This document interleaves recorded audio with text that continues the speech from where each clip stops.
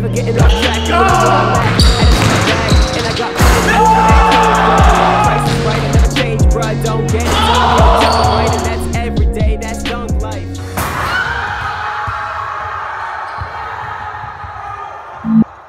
Fucking Dorian. Doing well, doing well, dawg. You not from the city. I could tell. I could tell, dawg. Did it, did it, did it. By myself. Good morning. Blew up. Now I'm still doing a podcast from my living room. It's kind of like a little alcove. What's good? Good morning. What's happening? Silly, silly, silly, silly psychos, silly psychos. My squad, what's good? Woo, good morning. I'm a little loopy, went to sleep a little late. What's happening?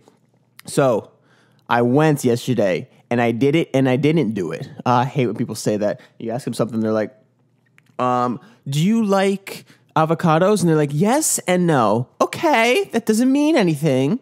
Tell me more. But there's no, th- those words, pointless. Tells me nothing. And then pe- uh, I, the, the reason I say I hate that is because I catch myself going like, oh, yep, like I understand that completely. Like there's going to be some yeses, some, some pros and cons. But don't tell me that. Just tell me the pros and cons. Anyway, I went yesterday. I did it and I did it. I went there and I did it and I didn't do it. What that means is signed up, open mic, baby, Orlando Improv Fish Bar, Blue Fish Bar, something like that. It was not this. It's at the Orlando Improv, but it's in the restaurant open mic part, not the actual like Orlando Improv stage. But it was awesome. Signed my name, dude. That means I was ready to go. I was gonna get up there, but they just didn't have time. They didn't have time. So next week I'm bumped, and I performing next week 100%, which means I'm going to hone it in. I'm going to hone in my craft. And I was ready to go. I was in the right mindset. I got a little nervous here and there, but most of the time, like 99% of the time, wasn't even nervous. I was super excited, which made me feel like I'm a performer and I'm ready. And it was exciting. And then with all that excitement, I was ready to go. They called the name Steven and it wasn't me. It was a different Steven. I was like, damn it. I really, because I wasn't expecting to go at that time because I kind of knew where my name was on the list. And nothing. So there's that. But it was a lot of fun. And I met a lot of people there that were so cool. That all the people, all the comedians that were working out, doing open mics, um, that were practicing. Some people just started. Some people have been doing it for a couple months. Some people doing it for a couple years. Got to talk to a lot of them, and that was so much fun. It was like it felt like where I wanted to be, and it, I got to meet all these people, and everybody was so supportive, and there was a lot of funny people out there, and some people didn't do so great, um, but that's also great. I was ready to bomb, bro, and I was just thinking, I'm made for this because all I wanted to do was get on stage and fucking talk to everybody because the people I talked to in the crowd since I got to know them a little bit, all I wanted to do was make them laugh. And it was like, that's, there's other people too, but like, if I'm up there making them laugh, chances are I'm going to make the rest of people. I just wanted to be up there. I wanted to be in the spotlight. I wanted to be up there. I can't believe I want to be up there. That's a crazy thought to me. Welcome to Dunk Life Daily, where we where we drag you into f- with dunks and we make you stay with the entertainment. Whoa, here we go. He's transparent. Um, the other thing is that this is episode 50. I said yesterday episode 50, but it's not. So happy half centurion, everyone. This is the best episode yet because it's now. And everything the best part of every day is now, right now. So use this to your advantage. Am I a Tony Robbins of comedy? you tell me. What I'm saying is that you're getting a free show every morning. I'm gonna be famous soon. I'm, I'm, I almost did my first night, Mike, open mic. I almost did my first open mic, which means I'm famous soon what's happening, bro? Anyway, it's so much fun, and I can't wait to do it again. I can't wait to do it again because when I was there, I was so excited and having so much fun that it's it's crazy that I get to do that often. It felt like a once in a lifetime type of event, even though it was just an open mic. It now I get to go practice and just go tell jokes. Like I get excited for this podcast because I know it's fun to do and I enjoy going nuts on and then yelling at you people in the morning. So this free show, I'm going to take on the road. Um, but yeah, I get to practice and also just I love laughter. So I get I get to go watch comedy too and meet all these people that are in comedy and just looking to have a good time. That's so fun to me. It's so core to who I am just to go have fun with people, make them enjoy. And the one advantage, if you want to know insider for the for my people listening to me that know me, is like I got a lot of fucking energy pent up you put me on that stage. Lot, I, it was just open mic, so maybe there was more like strict comedy and a lot of a lot of new people too. It was so cool to see a lot of people's first time. But I go up there, I don't, I don't know. I, I, have, I know who I am is a huge advantage. Is like I know who I am. I know how to get in the right mindset. Paradoxical intention. I just finished the man, the man search for meaning book. I have that in the back of my head. So when I get up there, I'm like, I'm nervous. Oh no fucks. Oh God, I don't care. Oh, oh, you're nervous. I'm not. They're like more cringy than me. The audience. Uh, that's. I was going to talk about my skin. You know, I was going to bring up skin on stage. I have to. So it's going to be really cool um, because a lot of people were just telling jokes and they were really good, but I, I was like the only one that felt like I was gonna like use my body and fucking dance and shit. I couldn't help it. I was so excited, and I was just gonna. That's what I talk about. I I know how to be true to me, and that's what I love. That's what I love about life, and I love both sides. So I was like, ooh, because like some people are super animated, some people are super slow with their talking, and both are great. Like I like, I love both kinds. But for me, in that area, it helped me feel a little bit more confident because I was the only one that seemed to have like high energy, which is fun. But I love both. But it's I wanna I wanna bomb. I wanna get my fucking bomb out of the way. I wanna bomb so goddamn hard so that I have like my heart crushed and then I can only go up from there. I'm gonna, I'm only gonna go up. That's that's the psycho mentality. Remember we talked about yesterday? I'm gonna paradox my mind and intentionally fuck it up, and next thing you know, I can't lose. Um, really excited. And then the other thing I'm thinking is like, if I do this and I, I really love it and I keep pursuing it and I, I actually am suc- successful, you have to believe you're going to be successful in something you love, or else you're never going to be. If no one believes in you, if you don't believe in yourself, no one's going to believe in you. Simple. If I go on the road, how cool would it be? Is like instead of doing, I've done, I've done a dunk meetup before. Imagine I come to your city, dog, and I do it well, do it well, dog. Coming to your city, then I do it, do it for you. Did it, did it, did it live show, live show, dog. That would be really cool. I'm like a real comedian. How did I get all this information in my podcast? God, I spit bars quick, huh? Whoo. Um. So yeah. Um. That's what it's about. Um. And I wanted to bring up this Steve Jobs quote to be a little serious. Okay he said, which I really love. I love quotes. I love quotes. I love words. I love how they make sense and they're just so simple and they just fucking open your eyes. So I try to remem- remember these and I like to share them because when I share them, when you teach, you remember them more. And one of them was, you can only connect the dots of your life going backwards. So right now, it's like when you look back at your life, like when I look back at my content and dunking, is like I can see how they all led to now and finding my true skin. But going forward, what you got to do, huh? You got to make the dots. Yesterday, I made a dot. I went to the open mic, signed my name, got over the fear, got ready to go on stage, and I was ready. So now a dot's been made. Next one, dots made.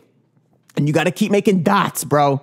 And try not to make dots everywhere. I mean, try to know who you are so you can make the right dots. But like, you got to keep making dots, and you never know which dot's the one that's going to lead you in the dot path that you want to go. So yeah, keep making dots. I've been putting off for you to for you to know. I've been putting off going to open mic or going to stand up for forever since forever. This is my first one I ever went to, to to watch. I think I've watched one, but that was just by chance. But like this was one that I first one I signed up at. So that's huge progress. Putting your name on that list, knowing you can get called and you have to walk up on there is a big deal. And I'm like, fuck it. I'm ready. I know how to give no fucks, dude, and I'm ready to just fucking go up there and yell at people. And I was in the right mindset. I really was, and I really think that it helps to know who you are because then you know to like just be who you are. And even if it goes wrong i won't i won't be ashamed and i won't be uh, mortified and i won't uh, i won't try to leave the universe. I'll try to just sleep it sleep it off another night. That's it. That's it. It was a lot of fun and i look forward to having my first open mic and recording it because i can record it. I was ready to record it and i'll be posting on youtube. Bomb or not baby. If you want to see bomb in a good fashion bomb's kind of good. Like you drop a bomb on the you know it could be good but Woo! the worst. I mean, it might just be, it might be really cringy, but that's what we do. And then I'll make fun of myself. How do we lose? How do we lose? Tell me how I lose. I want to know how I lose so I could do that now. And then all I can do is win. All we do is win, win, win, win, win. Win, win, win, win. Skin, skin, skin, skin. What's good? That's the other thing. You got to make yourself laugh. I know how to do that. I'm talking to myself right now, staring at a camera. I just like was saying it like I was talking to someone because that's the mindset I go into, and I'm looking at this thing and get a little fuzzy thing on top. Woo! Oh, last but not least, breaking news in history. We got the Hurricane Dorian coming, the storms coming in Florida. Next thing you know, we got rain. But the cool thing is, I'm in an apartment with the fucking renter's insurance, and my car's got insurance. But if the electricity goes out, I can't do the podcast for a couple of days. So uh, That's just the heads up. But I have a feeling it's gonna fizzle out. But this storm Dorian's got everybody up in a frenzy. we got the friggin' water. I gotta get water now. I gotta get beans. I gotta get fucking what else? Batteries for lights, bro. But it's weird because I don't have a house, so I don't. I mean, I just got this setup right here you're seeing. I could pack it up in one backpack and get the fuck out of here. Storm Dorian. What are you gonna do about it, huh? I know how to swim. I'll fucking swim it out, bro. I need swimming actually. I need that explosive activity because I can't jump right now, so I need to swim. I'll be swimming in Dorian. If only I knew how to surf better, I'd be going to the beach and get my surf. I don't have my board anymore. I sent it back to my sister. I hope she's listening. Hey, Steph, if you're listening, please comment if you got the board or where the fuck the board's at. Because Storm Dorian's here. If you could overnight it, I'd like to catch some swells. This is what I'm talking about. If I told about Storm Dorian on stage, people get not only they get some laughs, but they get some fucking information. They were all here in Orlando about to get fucking smacked by Dorian. God damn it, Dorian, you're messing up my plans. I got plans, Dorian. Storms don't care about your plans. That's what I learned. Ah, this coffee's perfect. That's it. I wish I could do this podcast all day long. Maybe if there is a hurricane and I got no power, all I could do is record on my phone, maybe, and fucking ramble. Just keep it fucking going, and that's it. Have a great effing day. I'll keep you up to date with Storm Dorian. It keeps getting pushed back. Now it's supposed to land Sunday night or something. I can't keep up with the weather. I also think they're just trying to fucking scare us into buying shit. I'm not I'm not giving in, dog. I got my fucking usual. I'll make 17 pounds of the usual. And I'll fucking get I'll stock up on coconut water. Quinoa cooked chicken, I'm good to go. What else? Fucking fruit. and that's how we'll end it. Fucking fruit. But we gotta do on this day in history. All right, I'm, I'm killing the character. Let's go. On this day in history, fucking August 29th. Why do I do this part? Portugal recognizes independence of Brazil, 1825. Oh, look at this. Look at this. Holy shit. 2005 Hurricane Katrina makes second and third landfall as a category three, devastating made much of the U.S. Gulf Coast from Louisiana to the Florida Panhandle.